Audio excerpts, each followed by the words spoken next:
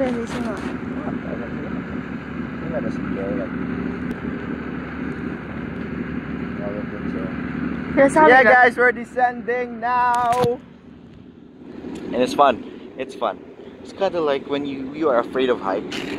Just remember that if you will just conquer your fear, there's more fun to it. So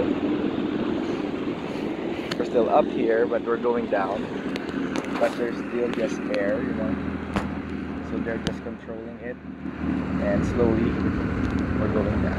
Ooh, woo, woo, woo! It's crazy. I'm kind of heavy, so it's kind of like